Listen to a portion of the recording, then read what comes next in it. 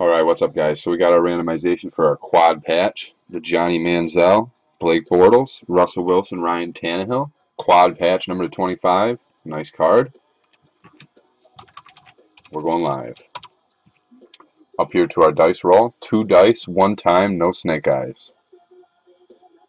Nine times, nine times on the dice roll. Here's our list. Ed Pazinski for one. Jeremy Mann for one. Rob McCoy for one, and Donald Ford Jr. for one. Timestamp is 10:28 p.m. Eastern Standard Time, New York. Here we go.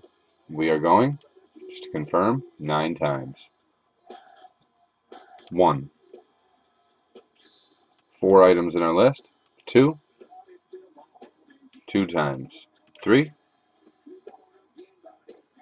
Four five, six,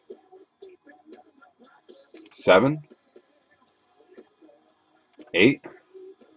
After eight times, we got Jeremy Mann on top, Donald Ford Jr. on the bottom. After eight times, our dice roll is a nine. This will be the ninth and final randomization. Timestamp is 1028, 1029 p.m. Eastern Standard Time, New York. Ninth and final randomization. Person on top gets it. Good luck, guys. Ninth time. Jeremy Mann didn't move. Congratulations, Jeremy. Dice roll is nine. We've gone nine times. Alright, thanks a lot, guys.